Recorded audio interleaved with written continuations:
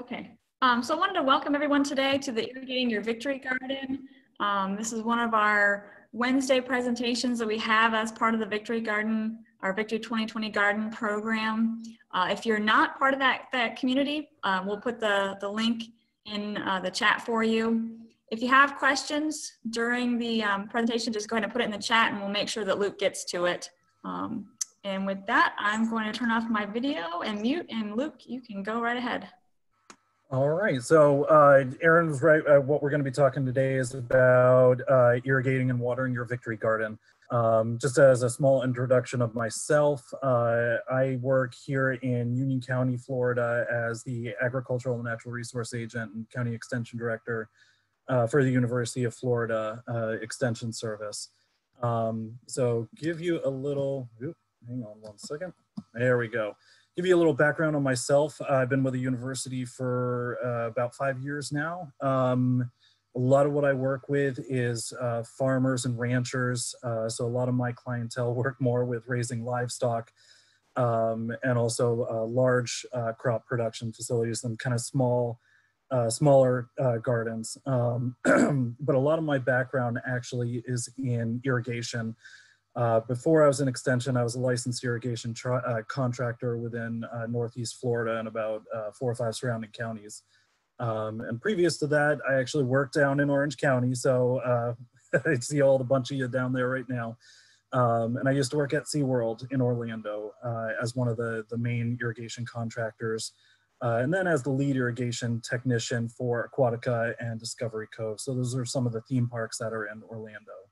Um, so a lot of my experience in, in water systems has been from small residential homes um, to some of the pictures that you see where I'm watering large scapes uh, and then large cropping systems as well. Uh, I will say that that photo on the left is not me, um, but I have been there, done that. So we tend to get very wet and, and dirty when it comes to uh, irrigation systems. So feel free um, throughout this presentation to ask any questions you might. I'm gonna try to breeze through so we have kind of a Q&A at the end. Um, but really what I wanna talk about today is three main questions. And that's what do you have, uh, what options are out there to irrigate your gardens with? Um, are we gonna use overhead sprinklers? Are we gonna use drip systems?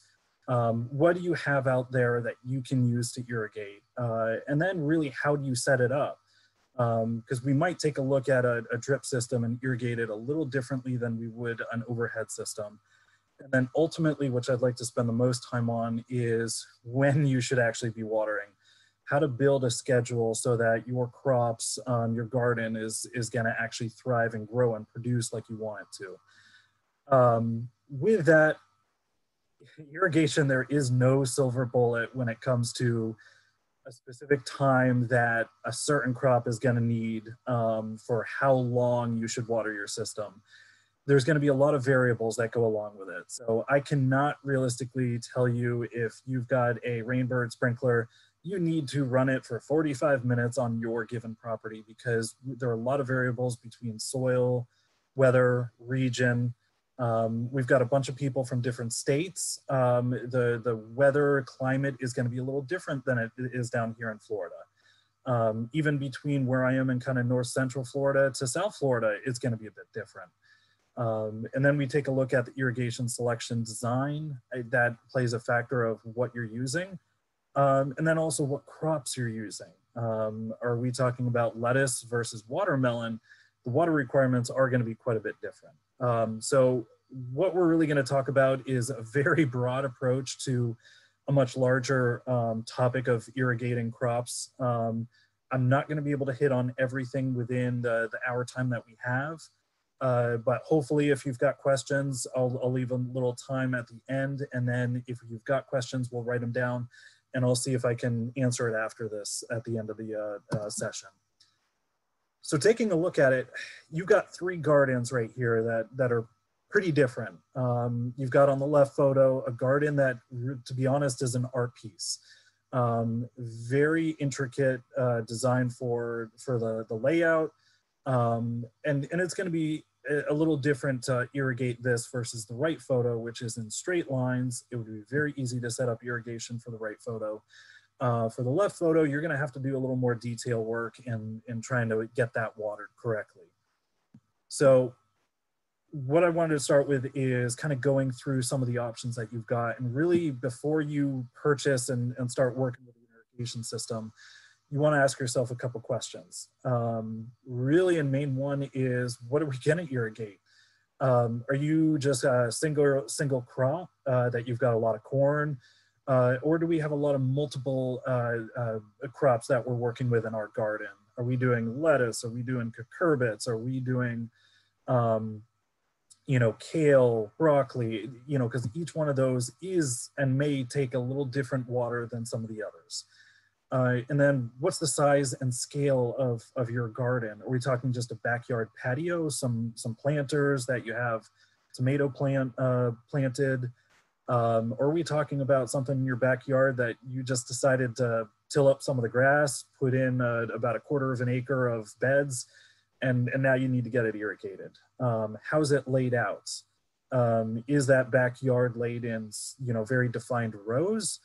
or is your garden going to be kind of organized chaos where you've got tomatoes there, tomatoes over on the other side, and you've got kind of a mixture of uh, meandering pathways throughout? So some of those you're going to have to take into a factor of how you irrigate it. Um, another big point is what is your water source?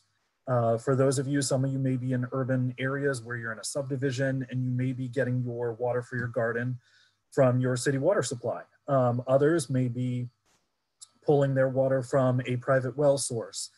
Um, so knowing some of the differences between those two, and we will go over those, um, you know, might lend you to go this way or that way.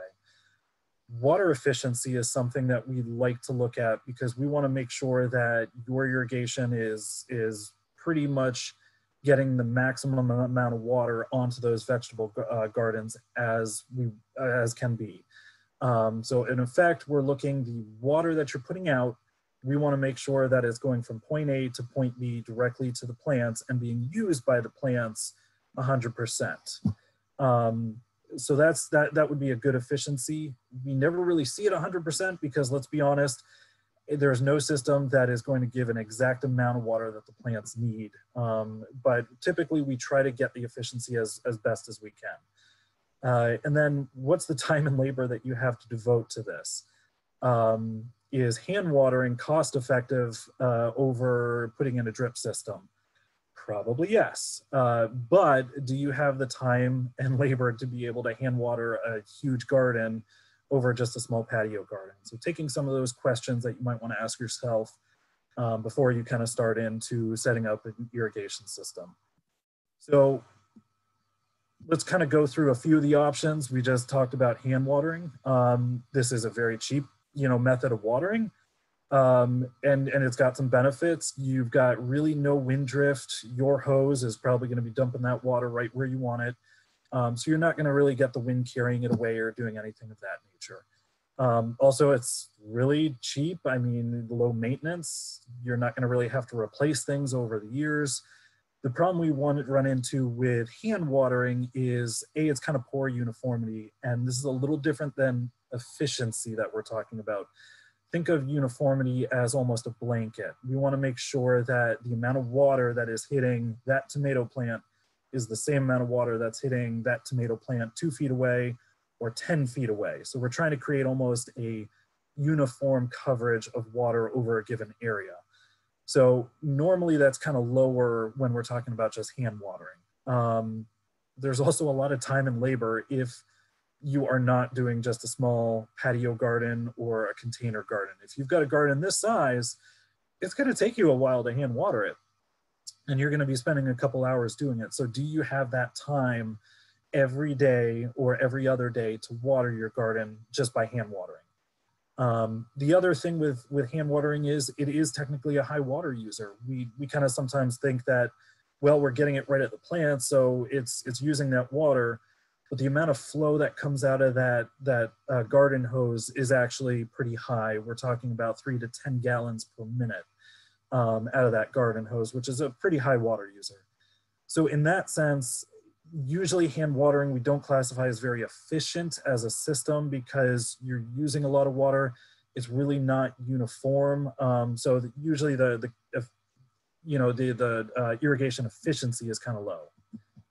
Um, so you've got other options out there. Overhead irrigation is definitely one of them. I think that's one of the ones we're most familiar with. This is what we normally use for our uh, landscape and, and lawns.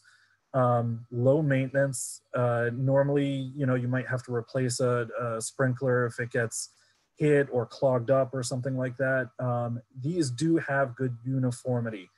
Most sprinklers are designed and manufactured, and as they are installed properly, um, have a very good uniformity. So you know that um, that tomato plant right here on point A is going to get the same amount of water as the one 10 feet away in point B.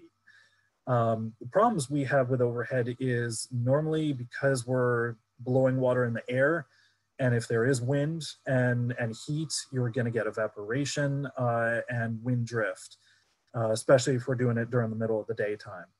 Um, so that's kind of one of the main problems that we have with, with overhead irrigation. They do tend to be high water users as well. You can make them lower um, by using a specific nozzle or sprinkler, um, but really the flow rate is one to four gallons per minute, and that's per sprinkler.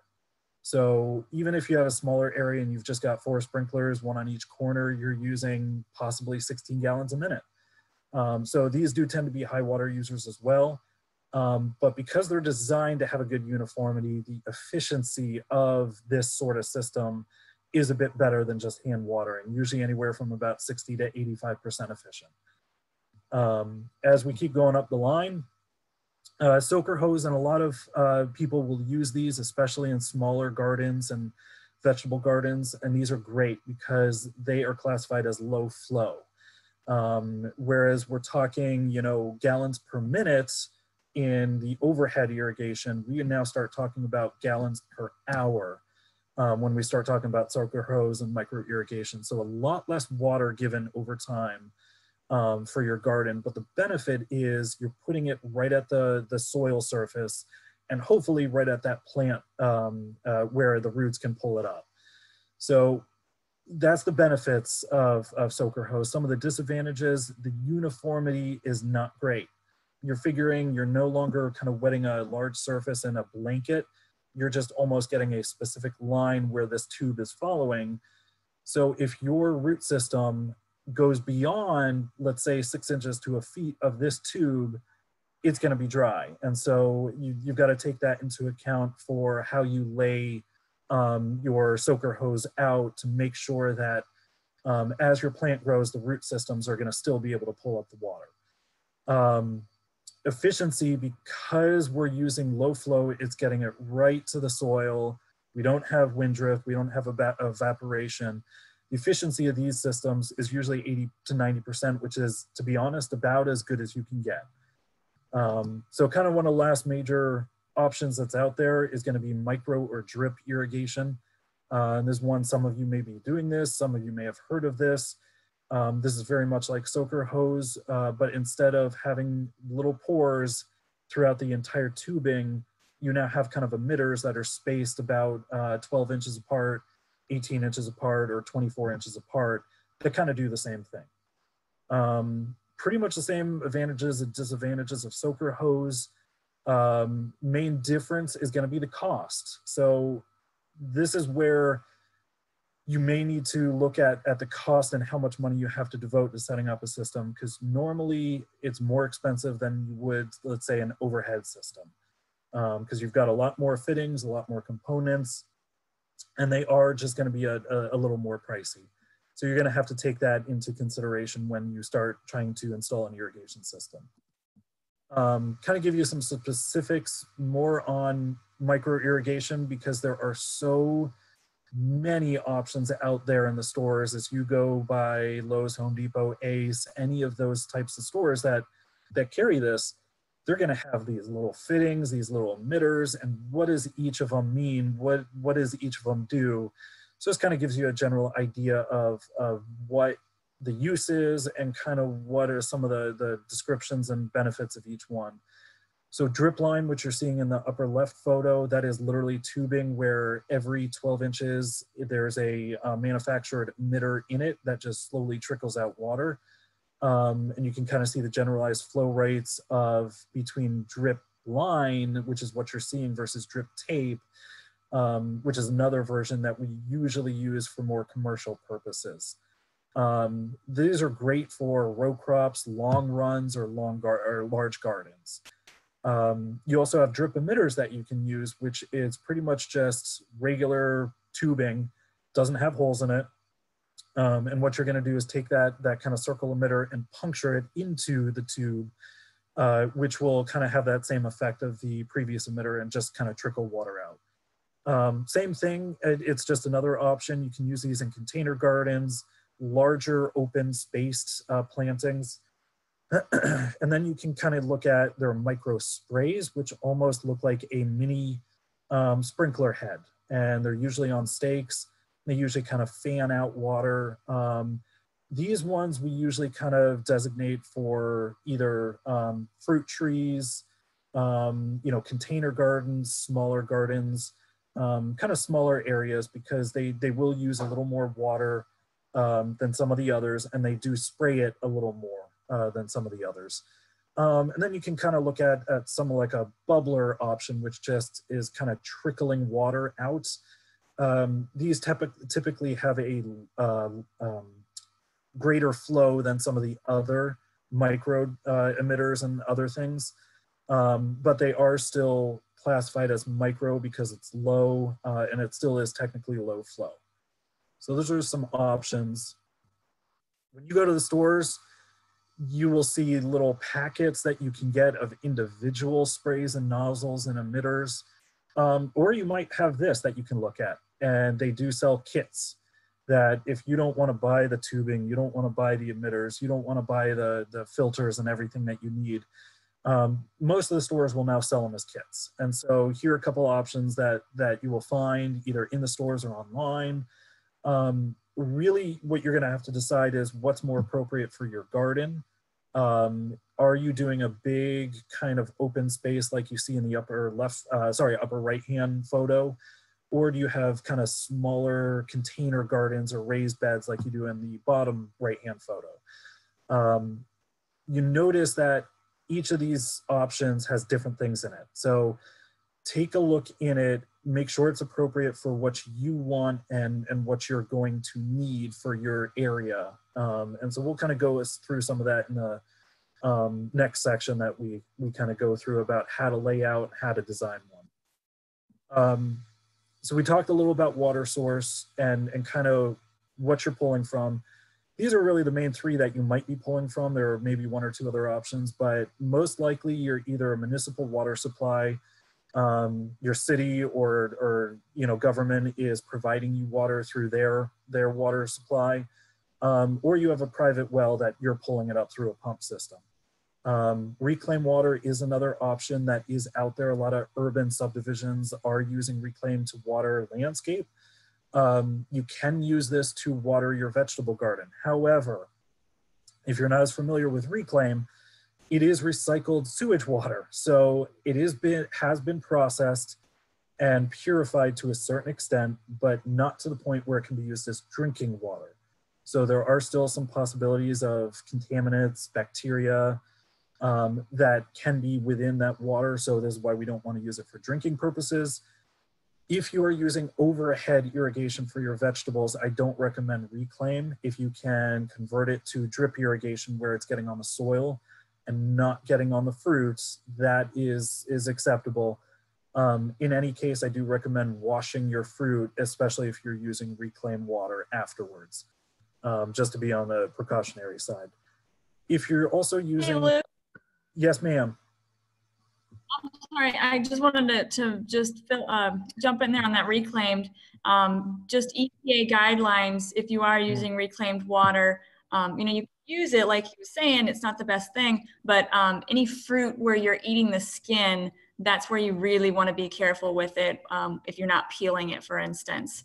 Um, and they don't recommend the use of reclaim for that. So you might want to look into like a, um, a rain barrel system or cistern or something like that instead. Yeah. And so that's, that's a very good point is again, just with that fruit production, um, you know, so anything, tomatoes, blueberries, all that sort of stuff. We just, we just want to make sure. Um, but it is an option that you can use. Um, not one we recommend, but it is uh, there as an option. Um, when we start getting into reclaim, private well, it is also kind of more essential, especially if you're using drip, that your system needs to be filtered. Um, there are particulates when we're talking about minerals, uh, sand, iron that can clog up uh, drip emitters or micro emitters because they're a much smaller opening than you would have a sprinkler. Um, so we do generally recommend about a 200 mesh filter be used. Um, these are some options that you can use uh, that you might have to order a 200 mesh filter. But you can kind of see, um, you know, the size of particles that we're trying to collect out of that filtration that we need to out of micro irrigation. So, I mean, we're collecting beach sand, fine sand, sediment, minerals, um, and even rust flakes. So that's kind of what we want to uh, filter out out of a micro irrigation system so it does not clog up. Um, other components that you will need to look into, backflow is one of them. And this is kind of like what Aaron was saying, this is more as a precautionary um, uh, uh, safety concern. Most of you may have this on your residential homes for, especially if you're on a city water supply. Um, this device is really there to protect the water source or your home water from having backflow issues and contamination issues uh, from other sources. So if you've got an irrigation system that's connected to your house line, this thing is there to prevent your irrigation water from flowing backwards into your house water supply or back into the city lines or back in the aquifer, depending on what system you're looking at. Um, so this is really kind of one of those necessity things for a health safety issue. Some areas, some counties actually require this by coding, some do not. Um, but especially, you know, when we're talking about um, irrigation and outside, you can get bacteria within those irrigation lines. So it's probably a good thing to have a backflow of some nature um, on your system if you're installing one. Your vegetable gardens can be set up with an automatic controller too. I mean, that's not a bad thing. Um, one difference that we usually give with vegetable production versus let's say landscape or, or um, turf usually we can kind of set a very specific schedule on a season and with landscape and we just have to adjust it with vegetables there is a very very specific um, amount of water as they produce and grow and fruit and mature that we want to make sure that we're getting so you do have to pay a little more attention to adjusting your, your schedule based on your controller if we're talking about vegetable production. Um, you also may still need to add a rain sensor. In Florida, it is a uh, Florida statute that every automatic system has to have a rain shutoff device. Um, depending on if you're in a different state or even a different country, this may or may not be similar. So take a look at your local coding and state coding um, but in Florida, if you've got an automatic system, it's got to have a rain sensor attached to it. So other options, and, and Aaron made a comment on it, is about a rain barrel or rain harvesting. Um, great option to do for small vegetable gardens, potted, um, you know, patio uh, container plants. If you've got a large size garden, this is probably not going to be um, something that will help you out dramatically uh, when we're talking about the pressure that is needed to push out that water, um, a rain barrel itself is probably not a, a, great option. You need a pump to be added to push it uh, because by itself, if you just open up a valve at the bottom, you're only going to get about less than 2 psi worth of pressure to be able to push that water out, which is not going to get you even a garden hose, um, you know, pressure. So I just want to kind of give this comparison. If we're looking at uh, out of the park, really weird train tank car, and we put it vertical, that gives us enough vertical distance where we have gravity pushing down on it to give us about 24 psi, which you could run an irrigation system off that. Um, but again, if you're just doing a small patio, rain barrel is going to be perfectly great. You also can kind of see based on your surface area of a roof, how much water you can get off of a roof uh, when we're talking about water versus how much your rain barrel can hold. So, um, but it, it's a great option to do for small uh, container gardens and small areas. Um, so going to the next section, we talked about some of the options that are out there Now let's get into, okay, I want to do drip irrigation. How do I set that up? Um, and it's really going to dictate by what your garden is. Do you have those uniform rows? You have curving rows? Um, what's your water source? Uh, how, how big is this area? How much drip tubing? How many sprinklers am I going to need for this whole surface area of your garden? And then also take into account um, what crops you're using. Are you growing corn? Um, if you're using overhead irrigation, you're going to have to get it above that corn. Um, so, I mean, you're going to have to set those sprinklers up to six, seven feet high to get over that corn if you're using overhead irrigation. So it might be better to use drip in that sense so you get it at the root zone. Uh, but just realizing some of the crops that you're growing, you may want to use one or the other. Um, and then possible expansion. So um, we have a garden and it continually expands over and over again. And so, you know, you take a set up a specific system for your garden, and then by next season, you want to add more and more. So realize that you might have to also expand your irrigation system over time. Um, so some of the general design principles that we, we like to see really pressure and flow are driving forces when it comes to setting up an irrigation system if you've got a very small patio or a small garden, you're probably not going to need to worry about this too much. Um, but when we're talking about um, larger areas, we want to make sure that the water um, outputs, I think I got that backwards on there, do not exceed the water inputs. Um, so what you're trying to push out of the system and get the water on the crops cannot exceed what you've got available from your water source. So let's take this example of a pump which is going to do a max flow of 16 gallons per minute. Um, so you figure every minute this thing's pushing out 16 gallons of water. Um, and in your garden, you've got five sprinklers, each doing three gallons a minute. So you're trying to push out 15 gallons a minute. This is fine. Your, your amount that you're asking it to put out is pretty equal to what it can handle. Um, but if we go to uh, the far end and let's say your garden's under drought conditions, you don't know what's going on, so you decide to add more sprinklers to it, and now you add eight, so now you're trying to push out 24 gallons per minute, but your pump can only handle 16 gallons per minute. That's where we run into a lot of low pressure issues, which is what you're seeing in the upper right hand corner. So this is what we don't want. We want the range of what your outputs are to be equal or less than your inputs, what you can provide. But on the flip side, let's say you just install one sprinkler, do full 360, and that's all you got. Um, now you're really kind of undersized doing it, and your system is trying to push out 16 gallons a minute, but you're only being able to push out three or four gallons a minute if you're on a pumping system, this is going to create some problems, but you're also going to create a lot of high pressure, which is what you're kind of seeing on the bottom right-hand corner, which creates a lot of misting. Um, and it, it's not good for that uniformity. Neither one of those two photos is good for uniformity. Um, we also want to take a look at how you lay out your drip lines or your sprinklers to make sure that they are uniform, they are all kind of equal in what the um, output that gallons per minute is and that pressure is.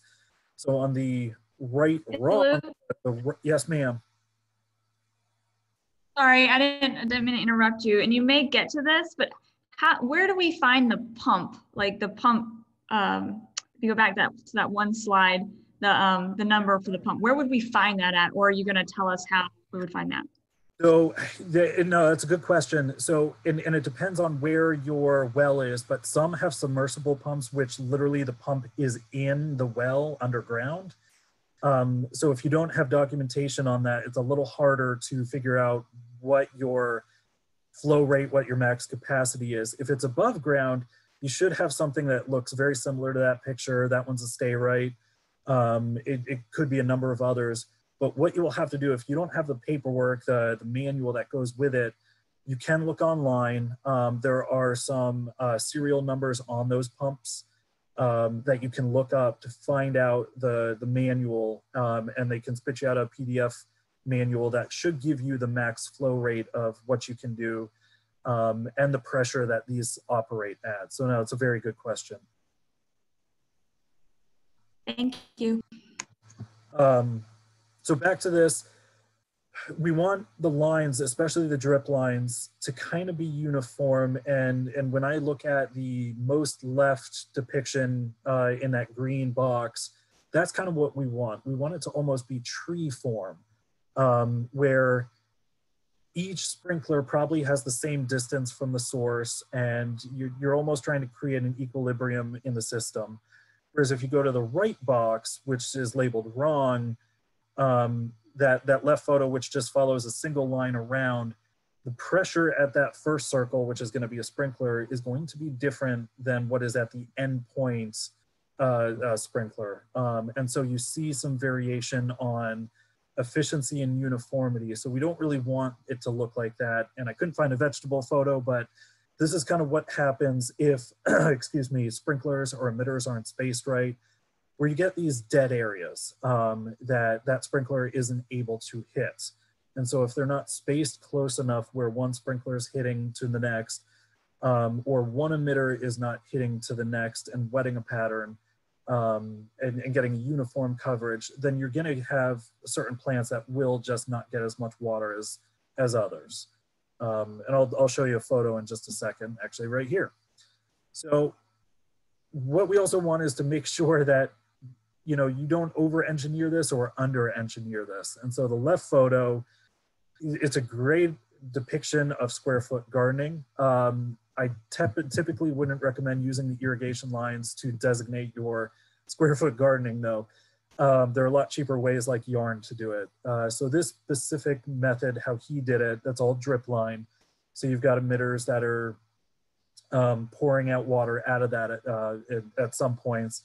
Um, each of those, that, that probably has about 50 some odd fittings that you're gonna have to purchase and put in and the labor that would would it must have taken to cut those equally and space them all apart, put them all together, when you could have done something differently and run one line up the center between both those boxes, and then just made that kind of tree form look uh, with the drip tubing. You probably would have only had to purchase 10 fittings um, and, and save yourself some money. So we also want, especially on drip, remember earlier I said drip lines usually come in 12 inch, 18 inch, and 24 inch spacing for their emitter.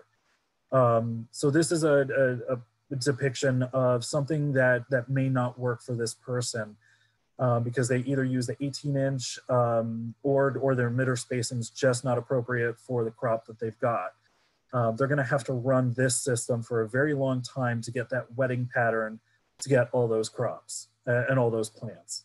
Um, so just make sure when you're buying the product, if you've got smaller plants, lettuce, carrots, radishes, you're either going to have to buy the 12 inch drip tubing or you might want to do something like a micro spray that's going to get a little more surface area. Um, a lot of times I get asked, well, what, what's a proper design for drip lines? Uh, and which side of the plant do I put my drip on? Um, really? it doesn't matter too much if, if we're doing double drip lines versus single. Um, just realize you are, if you're doing two lines on either side of the plant, you are doubling your water output. So when you go into scheduling, just realize that and take that into account that based on um, both those lines, you're doubling your water. So you're gonna have to adjust that in the time that you run it. If you're just running a single line, um, it really doesn't matter on what side you run the drip line the only exception I usually give is if you're in an area that has elevation change. So if you've got a slope, put it on the higher end of the slope so that gravity will pull it down to that plant. If it's on the lower end, it's gonna pull it away from that plant and that plant's gonna have a harder time getting it. Um, but beyond that, it, it, really, I've seen a lot of different variations. You've got a lot of row crops here, lines, but on the bottom right, you've just got pretty much a spaghetti um, uh, design for for drip tubing, which is perfectly fine. You're getting water to each plant, and really that's what matters. Um, and usually that's one of two things: we're getting water to the plant, and really I want to make sure it's the cheapest option that that you can do. Um, so if you've got raised planters, this is an option. Uh, drip is great for for this. You could also do micro sprays instead. Um, this is a bed I, I helped a school do a couple years back. Um, I think the kids got a little overzealous with the amount of lines.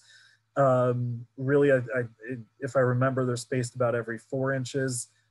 These could have been spaced about every eight to 12 inches, and you could have minimized the amount of tubing that you use, but this would be a perfect example of what you could do for a raised uh, planter bed. And then you've got this. This is another option. Um, this one's pretty much just kind of a very eclectic bed, um, you know, and, and so you've got tomatoes here. On the left side, you've got tomatoes at the back of the property. You've got kale here. You've got carrots here. Um, so if you're one of more of these, drip is a possibility. Um, you're going to have to spend a little more labor in getting it to the beds. This one was done with just overhead. You can kind of see the sprinklers along the fence uh, line on rising on risers.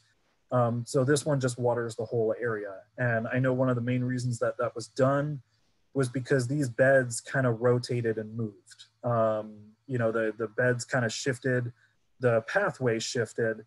So every season you're gonna have to relocate all your drip lines. Um, so this, which isn't an option, but this would be another option that you could do. All right, any questions so far, Aaron? Are we, we doing good on time? You're doing great, thanks. We're gonna hold the questions until the end. Okay, great. Because this is really where we start working with uh, scheduling, and I know that's where we have a, pro- a lot of problems as gardeners. Um, my my tomatoes not looking good. I now have cracked tomatoes. Why did it crack? Um, why do my plants look wilty uh, in the middle of the daytime? So this should help kind of guide you a bit through some of the reasons where we we tend to fall short on scheduling.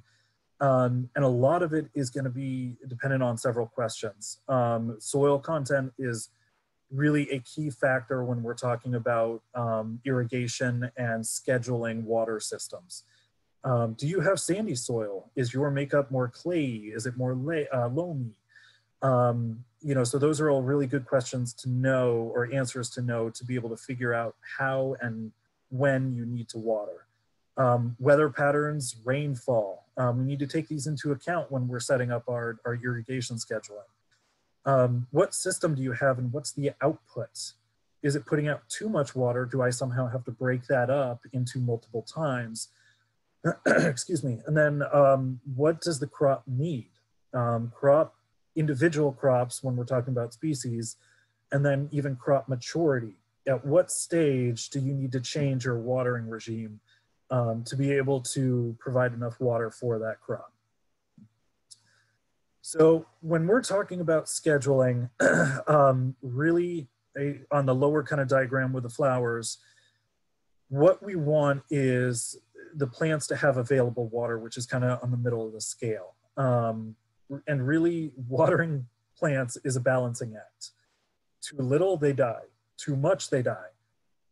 And so I usually like to kind of make analogy of a sponge when we're we're kind of talking about this where when we're using a sponge to wash our dishes we what do we do we probably saturate it we run it under the thing it starts dribbling out water um, that's where we're at the saturation part that sponge is full it's draining water out of it it cannot hold anymore and so you can think of the soil in that context of saturation point um, it's trying to drain out because it, it, it just can't hold anymore um, this is not a good area for plants. Um, this is where they stand in water and, and where too much water is a bad thing as well. Um, so as we start going up the scale, when we're talking about that sponge, you kind of wring it out. Um, it's still moist, it's still holding water, but it's no longer draining it out. And so that's really that, that field capacity and that, that time when it's available to the plant.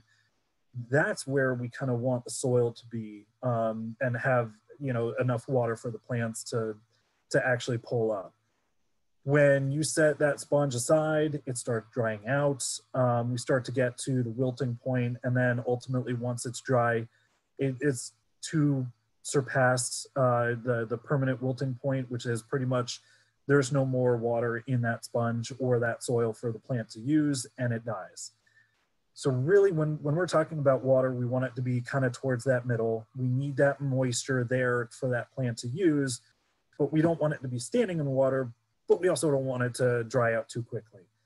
Um, when we're talking about commercial producers, they are using some real-time data, um, uh, you know, with ET evapotranspiration. They are using rain sensors to guide them, and this is a chart that that pretty much shows that balancing act of they want to stay within a very specific range where it's not too dry, not too wet. Um, it's much harder for us as homeowners and, and small gardeners to do that we don't have rain sensors. Um, and so there are certain methods that you can do um, just by looking at it as my plant's under drought. Okay, now I know it's time to water. Um, crop water demand is what we usually use on bigger systems um, where we're using some, some measurements, some data, um, devices to figure out a scheduling pattern. Um, what we'll talk about today is more a systemic method, which is we're talking about time and volume we don't go over certain parameters like soil and weather, but it should kind of give you an idea of what to look for. Um, really, first off, though, you do need to know about your soil. I'm not really going to go into it. I think you guys have, if you haven't um, learned about soils, this kind of gives you a little idea. But drainage, we know in soil and sandy soil, it's going to drain a lot quicker and faster than it would if it's clay based or even loam based. And so kind of knowing how quickly it drains out should give you an idea of how often you need to water. Um, weather patterns are, are really going to be key. Is your area seasonally um, and regionally, do you have a lot of rainfall that you may not need to water as much? Um, are you under drought conditions? Um, you know, so US Drought Monitor System is a, a good place if you're trying to find out in the United States. Um, I, and I'm sorry, UK, I'm, I'm, assuming you probably have some resources like this that would be for your area as well. Um, if, if you're in the state of Florida, we also have the Florida Automated Weather Network, uh, FAWN, that you can look at too, that gives you good data, um, soil temperature, how hot is it outside at different um, uh, heights through the um, uh, air, rain patterns, precipitation. So you can find out a lot of good information to help you create a schedule going forward. Um, you can also use stuff like this. Um, regionally, we do have um, charts and information like this where it's we know different crops are going to use different amounts of water, have different amounts of drought resistance versus others. So certain plants like uh, lettuce, radishes, uh, spinach, in the grand scheme of things, yes, they require water, but it's going to definitely be a, a, lot less water needs than we would a watermelon would do. Our fruit's a lot bigger with watermelon. You're, you're trying to create a much bigger baby, and you're going to need more nutrients and more water to sustain that baby. Um, so that you can use this chart as kind of a guideline. Um, certain other areas in the United States, this may not it, it may fluctuate, but uh, this is more typical for Florida and what we see. And then some of those critical stages when we're talking about fruit set uh, versus some plants, they, it doesn't matter when, they just need continual uh, monitoring of water. So other kind of scheduling factors that, that you really want to take into consideration, if you can, watering in the early morning is, is probably still one of the best times that we recommend. Um, we don't want you watering during the day because of that heat, that wind, evaporation and wind drift issue. We, we want um, that water to be in that, that garden and really get to the plants that you need it to. Um, watering late at night also can bring in some disease and leaf spot issues that we also don't want to see. Um, so in early mornings, probably still one of the you know best times to water. Uh, watering longer periods of time but less frequent is also still, even with vegetables, um, probably going to be a, a, you know one of those recommended practices. It's going to encourage those roots to kind of go down deeper um, and grow better. Um, if the roots just stay at the surface, uh, you've got that heat and and sun will bake off and evaporate some of the the moisture that's in the top where the roots are um, and, and damage some of the plants. We want it to really kind of get down more deeper in the soil. Um, if you're in sandy soils, Florida, um, you may need to think about watering in different times and split applications. So we'll go through a process shortly that talks about you may need to water, you know, 70 uh, minutes uh, in a week. And so you don't want to just do that all in one shot because most of that will probably go way further down than the root systems than what we want it to. You may have to break that up. Even in a day, you may have to water once in the mid morning, once uh, in the later afternoon.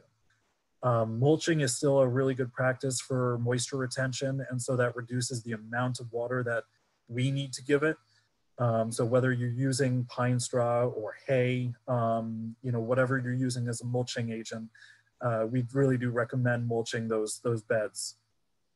Um, some of us may still have to follow local watering restrictions. Um, if we're talking local in Florida, drip irrigation, micro irrigation, even reclaimed water usually falls outside of our, our local watering restrictions.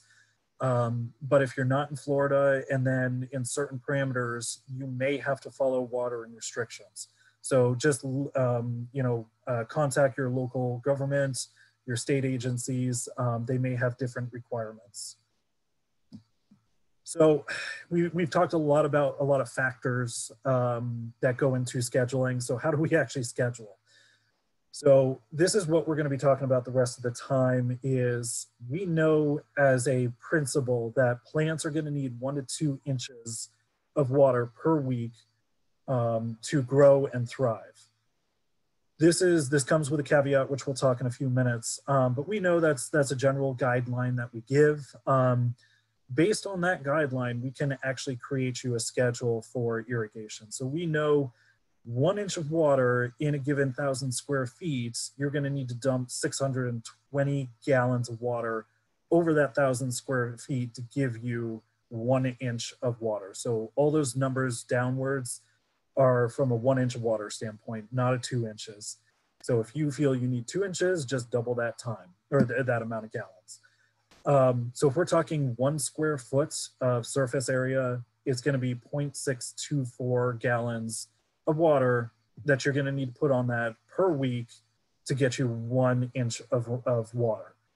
Um, so we can kind of take a look at that and based on your system, we can kind of build you a, a water schedule. So first thing we need to know is how big is your garden?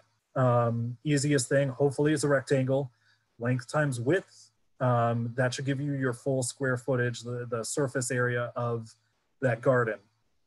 If it's not a rectangle, you might have to go back to high school math and, and kind of figure out um, if it's a circle, what the, uh, excuse me, the surface area of your garden, excuse me, is going to be. Um, once we have that, we can use that formula based on one square foot and give you a total amount of square foot that uh, a total amount of gallons that your garden is going to need per week based on that one inch of water per week recommendation. Um, how you figure that out with your system, it's going to be a little different. I kind of gave you a couple ideas if you're using sprinklers versus micro emitters versus drip line. You can kind of use one of these three pathways to figure it out.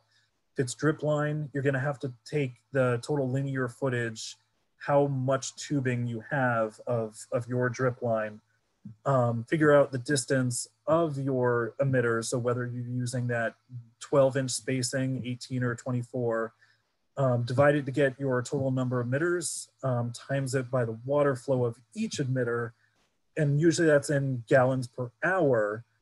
Um, and then we want to put it in gallons per minute. So you divide that by 60 to get you gallons per minute. Uh, and that should give you your water output in gallons per minute of your drip line system. Hopefully I didn't lose anyone there. Um, we can answer some of the questions that you might have in the, the Q&A section. Um, but this will give you a kind of a clear picture of how much water your system puts out uh, per minute. Um, and then we can build you based on how much water your needs, uh, how much water your garden needs versus what your system can put out. Um, and then we just divide them to figure out the time you need to run your system in minutes to apply the total gallons that you need on a given week for one inch of water. So this can kind of start to give you an idea of what you need to do for a watering schedule. So I did want to give you at least an example to kind of walk you through that uh, very quickly. So we've got a rectangle garden right here, 35 feet by 50 feet. So we got 1750 um, square feet worth of surface area. we know we've got five sprinklers um, uh, that are there. Um, and so each of those sprinklers puts out three gallons per minute. So our sprinkler system is going to be putting out 15 gallons per minute. Um, and so we know that we can build that system. And through that, that calculation, we know this system is going to put out or need to run for 73 minutes per week. Um, now, granted, that is going to be um, you know, per week at the one inch of recommended uh, recommendation rate. The problem that we have with that, that's one inch of water per week. This system does, or this calculation really does not take into other scheduling aspects like regional difference, uh, weather patterns, soil structure, crop species, crop maturity, or the efficiency of your irrigation system. So it gives you a very good baseline of what you need. And that's why there is a one to two inches of, of recommended rate. Um, so it's not a great method. It's not a silver bullet, but it should give you a, a kind of baseline of what you need to use for your watering schedule. There are other options that you have available. Um, there are mobile apps that you can get and use. Um, this one is one that's put out for Florida uh, and you have specific applications for vegetable production, blueberry irrigation. Um, you have to know some of the specifics on your region and your um, irrigation system. You'll put in a little information, it will ask a little information, but ultimately it will spit out you a, a, a, a schedule that you can use for your vegetable garden. Um, I know that's a lot to go over. Um, in such a short time. Normally I teach a lot of this in about two to four hour classes. Uh, and we, we went through a lot in, you know, the, the last, you know, 40 minutes to an hour. or So um, really take home messages eh, are what you want to use and how you're going to use it are really going to be affected by your garden design, your crop selection, and your available water source. Um, also, when and how often you have to water is really going to be dependent on several factors, your soil composition, crop maturity, and other environmental factors. Um, but hopefully this kind of gave you an idea of what you may need to do for watering um, and, and kind of gave you what you might want to use or maybe what you're using already. Um, so that's really all I've got for now. I put a couple, uh, you know, resources that you can also look at, kind of go a little more in depth on, on some of the scheduling aspects. Um, but thank you for listening and, and hopefully, I mean, at this point, I'll open it up for questions. Okay, if you have any questions, go ahead and put them in the chat box. Um, we have a couple that had come in. Um, so the first one is, what is the best way to provide a larger scale system on municipal water source on the scale of 250 plus micro spray emitters? Okay, so are you are you looking? Um, what what is the problem with using your municipal water supply? Are we seeing low pressure, or, are we talking um, water savings? Uh, because I'm I'm sure that's you know if that's on your municipal water supply, that's probably eating from your house fed, and you're paying for that water. Um, so it, it may be where you're using a substantial amount of water. Um, is is that kind of what you're? We'll see if they We'll see if they reply. Um, some odd reason, I can't get the chat Um, box up, so I can't see. The next question was, how much improvement is there in arrow emitters? Um, so like the, the drip type emitters um, that you use for the gardening. And it doesn't say kind of when, but just says how much improvement is there. I don't know that they've changed in a couple of years. If Luke, we're you might talking have more about info on the, um, yeah, if we're talking about the actual um, manufacturing, if like there's been improvements down through the years, um, they've gotten a, a little better, um, you know, down from, you know, the 60s and 70s upwards to now. Uh, they don't clog as much. Um, they're a little more efficient and then the spray patterns, a lot of it also they are now including with pressure compensating um, so that you're not, if, if you've got um, high water pressure, there's a pressure compensator that you can add to it to reduce that so you don't get misting. Um, if we're talking about from uh, improvement, if we're talking from sprinklers, there there's a good uh, uh, amount of improvement from overhead irrigation when we're talking about the water efficiency, how well it's being used, um, and getting to the plants and, and ultimately the soil contact is really where we want it to be. Um, so from overhead irrigation, there is definitely an improvement, but if you're talking about from um, the actual manufacturing of, of the sprays and, and nozzles, they haven't changed drastically, but they have seen improvements uh, down through the years. Okay, thank you. Um, I think that's the only other questions we had that are posted right now. Um, We will post these, uh, this video on our um, Victory um, 2020 community page, the, where we have the archived uh, from the Wednesday classes. If you do want the PowerPoint as well, um, I think we'll post it in the, um, the Canvas course if you're a member there. Um, if not, email uh, Luke or myself and we can get that to you.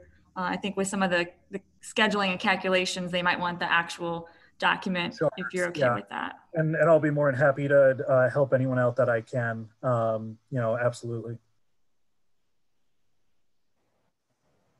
Sure.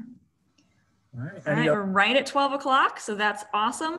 all right. Yeah, if you have any other questions, Luke, do you have anything else? to We want to thank you No, very much you know- for um, that very informative session.